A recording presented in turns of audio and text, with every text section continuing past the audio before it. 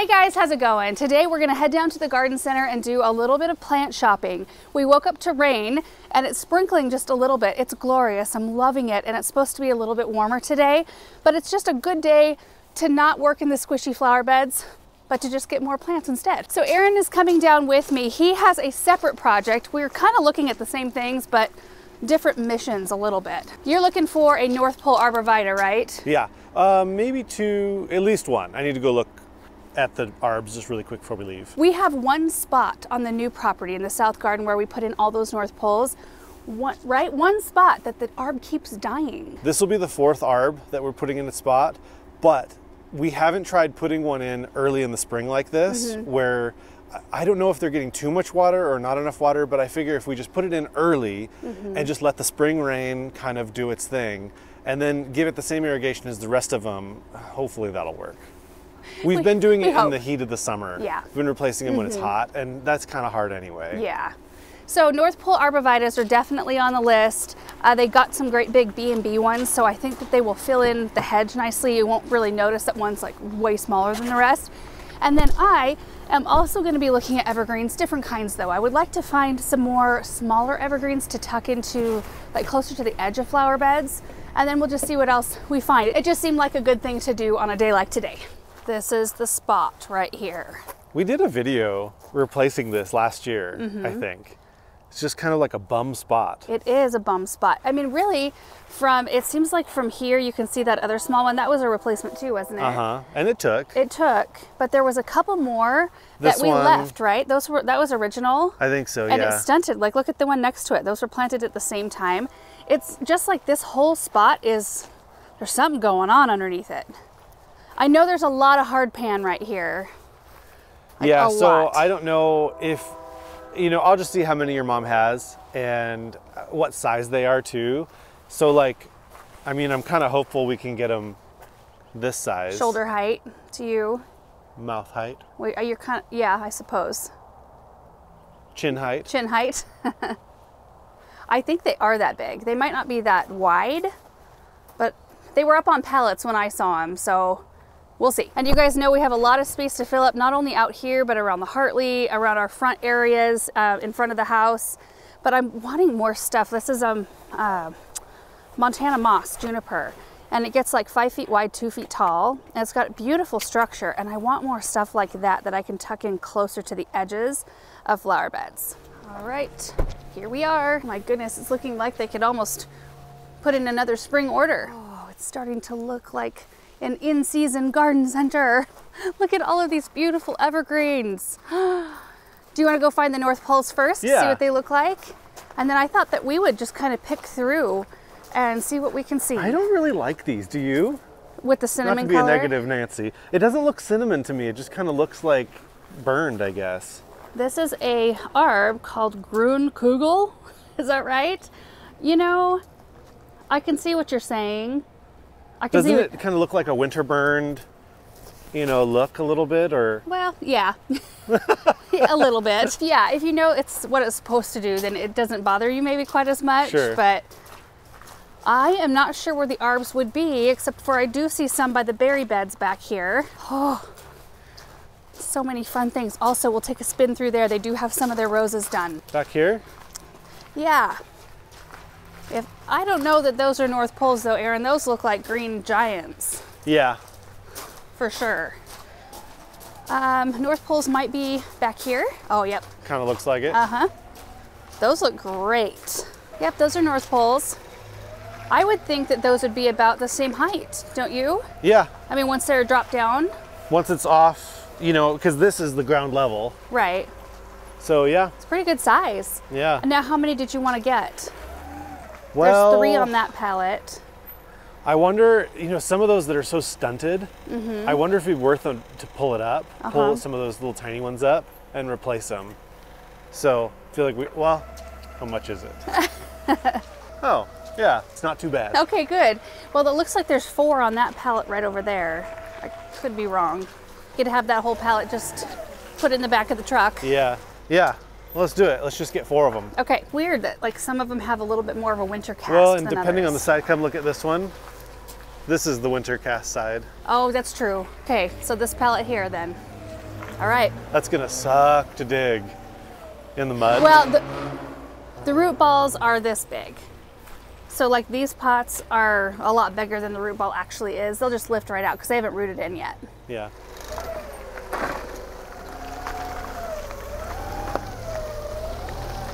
Okay, so we got the North Pole situation handled. Now we get to look at more evergreens. And I think we'll just start back here because there are a few in pallets. The rain's starting to pick up a little bit, a little bit. One thing I absolutely love when these first come in, this is a hoopsii blue spruce. They just, they look so gorgeous and so frosty. I think they're awesome. So this is a Picea pungens glauca. Uh, the hoopsii grows 40 by 15, which is awesome because you know a lot of big, a lot of the evergreens, a lot of the blue spruces will grow a lot wider than that. And 15 feet I think is manageable in the width department. I mean imagine that, 40 feet tall, just 15 feet wide, tucked into the landscape somewhere. So pretty. We've got the Austrian pines here. Oh, I like this one. I don't know what it is, it's a spruce. Oh, silver blue Serbian spruce. Oh my, 25 by 15. I love the Serbian spruce, how they've got the bicolor needles. So when you look at this, it looks blue and green at the same time, which gives it kind of a sparkly quality. Oh, now that is really pretty. We'll have to think about that one. That's a contender. Looks like there's some Vanderwolf pines back here. That's this one here. And then this is a blue Scotch pine that's a columnar one. So this one grows only like six to eight feet wide, 20 to 25 feet tall, zone three through seven. Dang, look at that. That's really neat. I did show these in the background of one of our videos when I was down here helping. These are a Vanderwolf lollipop. Isn't that neat? I don't know that I've ever noticed a Vanderwolf being grown in this structure, kind of that topiary structure. And we do have one of these in our garden. This is an Oregon green Austrian pine. So 20 by 15 stays a little bit smaller than the traditional Austrian. Look at this back here. It is just squishy. With our small amount of rainfall, you know, I mean, we do get more of it in the spring, thankfully, um, but our soil does not know what to do with any amount of moisture. It just puddles. It puddles and it takes a while in some spots to soak in. Okay, we're gonna cruise over here. Oh, no, we're not. I see a bunch of red sold tags. This is the sold section. There's a weeping white spruce right here. We've got two of these at home and I love them. These grow like 12 to 15 feet tall and just like three to four feet wide, right? probably look at the tag. Yeah, 15 feet tall, four feet wide. There's so many trees that I look at that I'm bound to screw up the measurements on some of them. But that weeping white spruce is one of my favorite evergreens that we added to the South Garden last spring. We got a big one from Jaker. It came B&B and it's got the most gorgeous layered structure and it's just got such a strong presence in the garden. Uh, while you want some evergreens to be more wispy and architectural, uh, like just a little bit more graceful in their architecture, it's nice to have those that have that very strong presence as well. Blue Star Juniper Lollipops. What are these? This is a dwarf globe. I love things like this. Three to five feet tall, five to six feet wide. That might be a good one to add in. We're gonna keep that in mind. Oh, but wait, what is this one? Ooh, Lundeby's Dwarf Blue Spruce. I don't know anything about this one. Two feet tall, three feet wide. Yes, that's a tiny little one. I love that. Okay, I'm not sure why they parked it here, but I'm gonna load it up. Need a cover on this one. Whew! It's chilly and, and damp.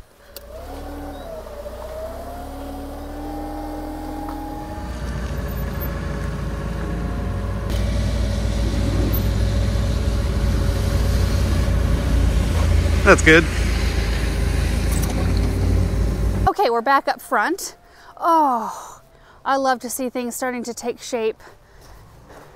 We've got some lilacs. These are some white lilacs, all big buds. Look at the blooms that we're gonna enjoy on those. Oh, and these are the Ludwig Spaeth. I have one of those we just planted last year.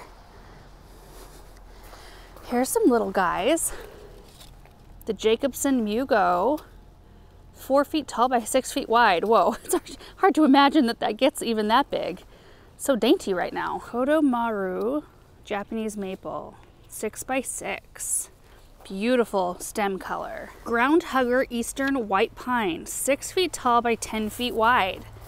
That's got a beautiful, soft looking needle and they are soft. My preference always runs on the spruce side of things over pines um, just because I mean we've got pines in our garden and we'll probably add a few more in uh, but they needle cast a little bit worse uh, and which means you know you clean the needles out of them once a year usually when they're pushing new growth um, and they also are prone to get blight and that's one of the reasons why we took out the big Austrians by our gazebo uh, because once a tree is afflicted with blight like that, their needles start to brown like halfway down and you can control it. Like you can spray your trees to where they don't get worse, but you can't correct the problem.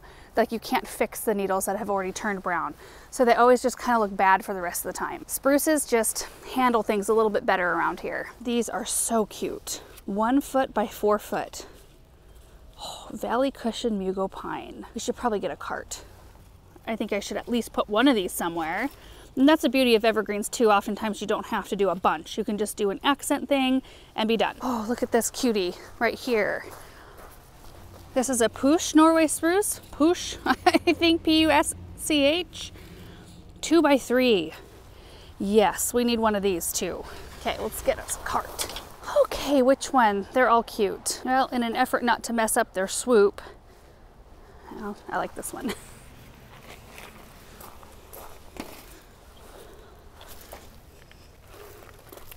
These are harvest moon cedars. They are very bright. Not as bright as these though.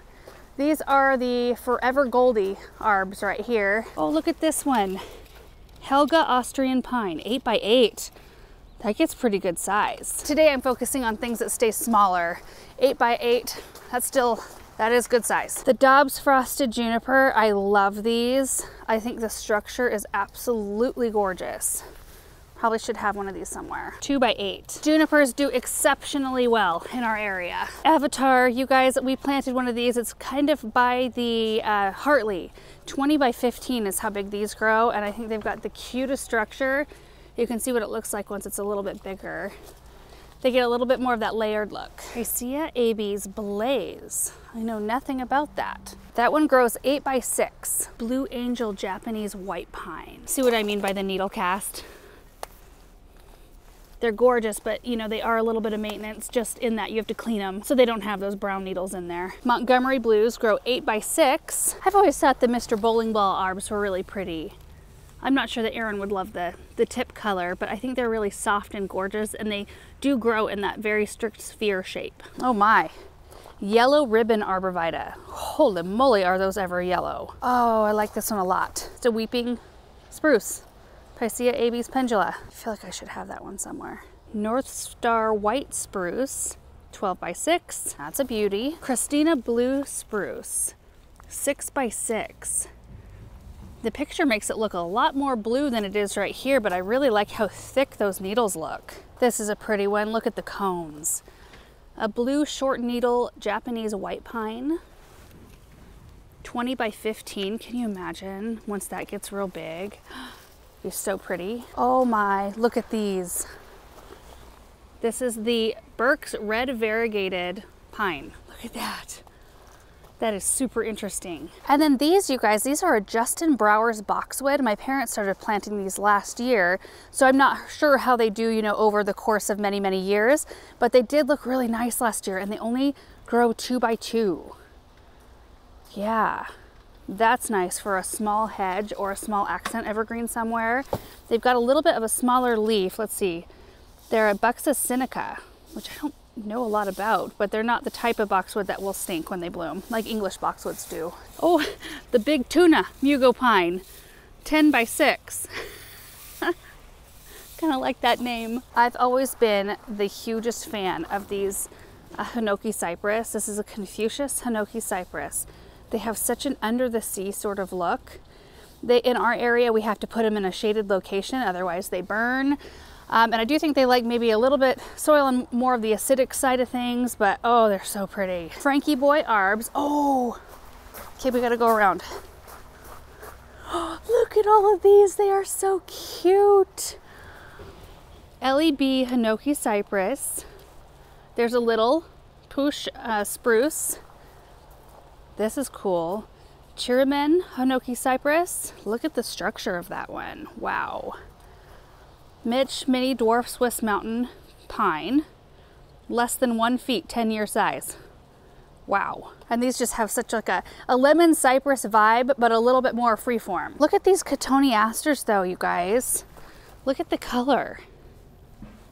So these are the Little Dipper cotoneaster, ground cover type shrub, uh, half to one foot tall and three to four feet wide. And they are such beautiful plants. They do grow, you know, very flat to the ground. They have got strong branches, uh, little white flowers late spring, and then they're followed by little red berries that are so pretty. Procumbens blue spruce, we planted one of these last year. These grow two feet tall by 10 feet wide. I really like the color of those. They're very, very blue. And these are also really nice boxwoods, the Mount Brunos. They grow three by three, so a little bit bigger than the Justin Brouwers. Really fun option. Okay, I'm trying not to get too ahead of myself. There's not that much room left in the truck. So we've got three evergreens on the cart, and I do have a few items back here um, that I tagged while I was working down here helping with the loads.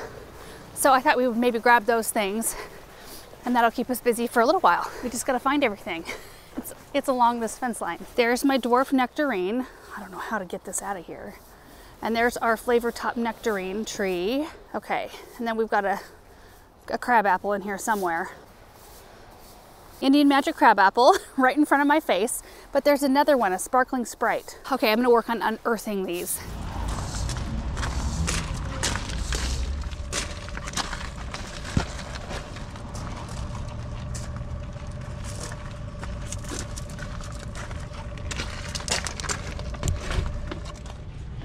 Okay, I'm gonna have to come back for those two. You know, I used to stay in such good shape because I was constantly, well, lugging big things around all day long, but I was constantly pulling carts like through heavy gravel, and that'll condition you up real fast.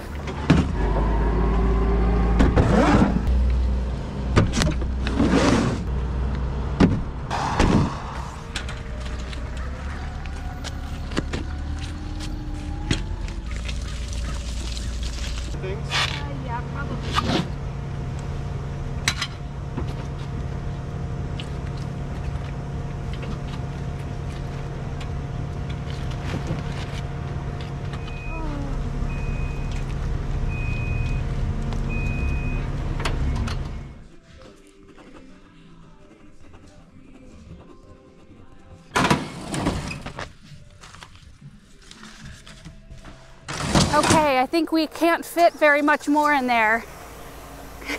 Successful load. Very successful, yes.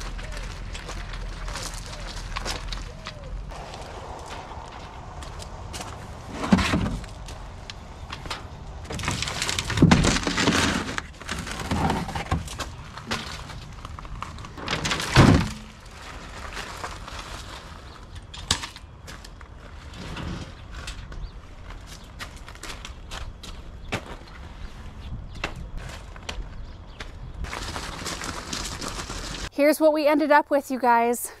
There are seven plants right there. I'm super excited about them. So starting on this end, we have a sparkling Sprite crabapple. You can already see what kind of growth habit it has. It's more of a lollipop form tree. They grow about 12 feet tall, 12 feet wide, and beautiful blooms in the spring. You can see right there on the tag, followed by the beautiful gold orange half inch persistent fruit. When you see the word persistent on a crabapple tag, that means the tree is going to be less messy because persistent berries hang on to the tree. They don't fall off along with the leaves in fall. Uh, they stay on through the winter months. They provide forage for wildlife. They look gorgeous. And I love the fact that this one has the goldish orange coloring. We have other crabapples that have bright red berries, but it's fun to have some different some different colors out there. This one's also hardy to zone four. So what is that, negative 30 degrees? We should be good. I actually think these would look really pretty in a formal sort of setting, like maybe even behind the Hartley, having one in each one of those square beds. That's what I did in our last garden. In our townhouse, in the backyard, I had a similar layout to what we have behind the Hartley, where there were four beds and there was a center fountain, and I did four lollipop crab apples, which grow very similarly to this one. And eventually they got big and beautiful, and uh, Gopher took one of them out just I looked out one day and one of them was completely leaning over. It was so sad. I mean, gophers just come in and they just take out the the main root right there, and it was just chiseled in like a perfect uh, triangle. I was able just to lift it right out of the ground. So there's no finding a fourth one that was the size of my other three. And then I had the same thing happen to a second one, and I decided to not fight it. But it's something that I could do here for sure. We don't have near the gopher activity in this garden anymore. Right next to it, we have an Indian Magic Crabapple. And I mentioned this one when I showed it in our last video when I was picking out trees. My in-laws have one. Aaron's parents have one of these right outside their dining room window. And it's one of the most beautiful trees I've about ever seen. They grow, you can see here, 15 by 15, so just kind of a smaller size tree, zone four again. Uh, they have orange-red, half-inch persistent fruit. So that's really great. But look at the color of the blooms. Oh, they're so pretty. And Paul, my father-in-law, he sends pictures to me throughout the year when the tree is looking exceptional. Uh, the most recent one he sent was the tree was loaded up with snow on all the branches and there was a robin nestled into into the branches. It was just kind of that juxtaposition of winter and spring. It was really pretty. Next to that, we have a flavor top nectarine. This is hands down the favorite fruit tree out in our orchard. Uh, Self-pollinating, uh, ripens about mid-season zone 5 through 9. And you know how when you read on tags when they say trees are vigorous and extremely productive, sometimes you wonder if they're just trying to sell more trees, if that's actually true, and it is true of this nectarine.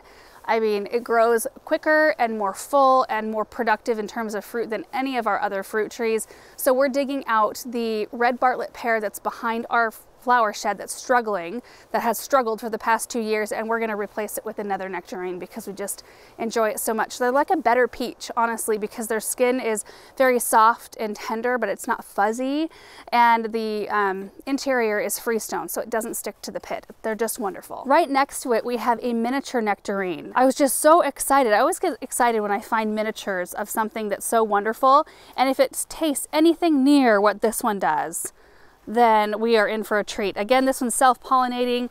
This one uh, blooms a little bit earlier in the season.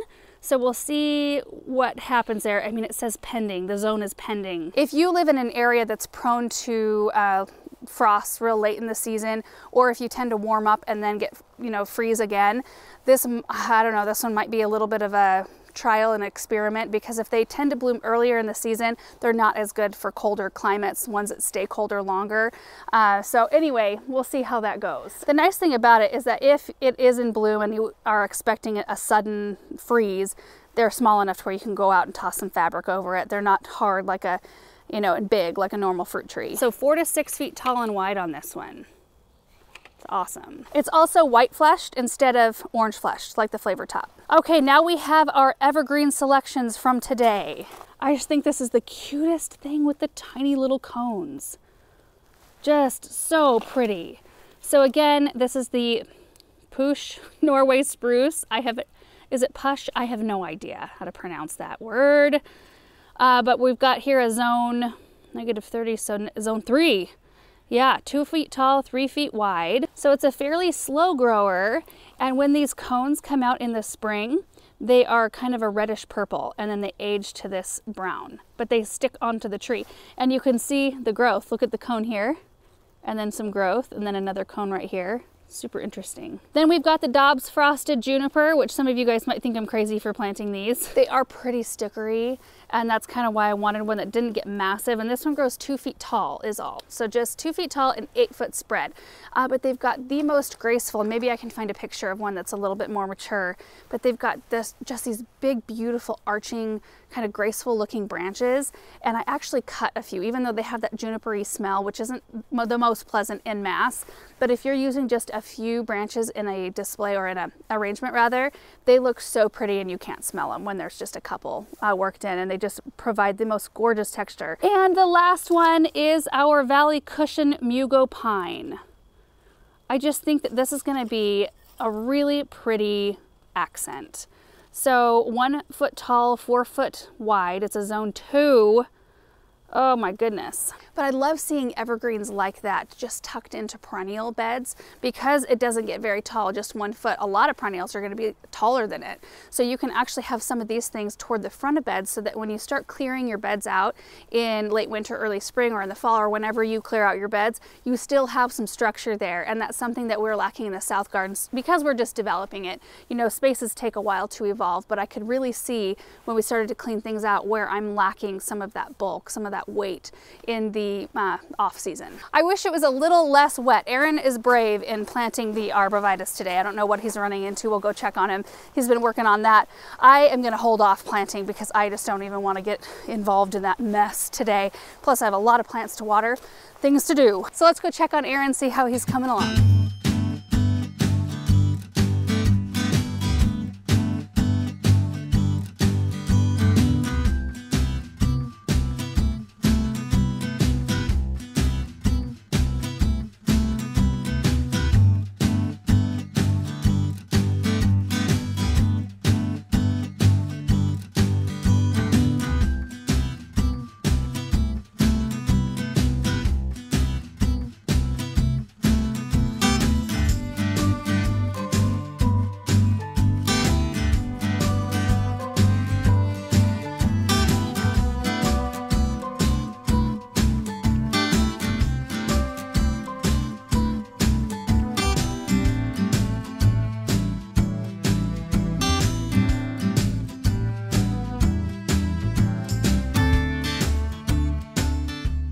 Goodness. Are they even taller than our regular ones? You know, they're just about perfect. Yeah. I mean, looks... it's like slightly taller. Uh huh. It goes to about my eye maybe instead of my chin.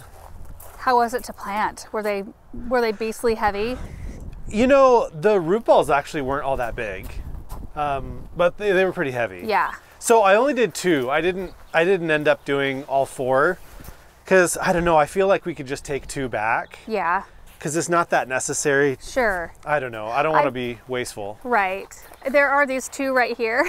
yeah, I just can't decide if it's worth it to pop these out or if I should give these some more time. Like this one looks fine. It's just smaller than the rest. What do you think about popping those out and just planting those elsewhere and putting the two taller ones so we that could. at least we have kind of a uniformity going on here and we could still use these. Yeah. Because I'm yeah. guessing they're not super rooted based on how they look. at right. the moment. Yeah, it, we could. That looks so good though. So much better. Yeah, you can't even hardly tell though no, that they're different. Really. You can kind of see where the mulch is roughed up in front of the two that went in today. And you know, I thought the color was going to be more off. You know, they yeah. looked, I thought they were going to be more deep green, and they definitely are like maybe a shade deeper, but not a tremendous amount. No, I think they look great. Yeah, awesome. What are you going to do for water? Because I think that might be the issue here, at least in the one that always died? I'm not actually going to do anything. We've been getting, you know, our spring moisture. So I'm just going to give them the same water as all the rest of them and just hope for the best. Okay, well, project finished. So this there was no frozen or anything? No, it wasn't. It was still hard. Was that, it? Yeah, that hole. Yeah. Like the sides are really like compacted.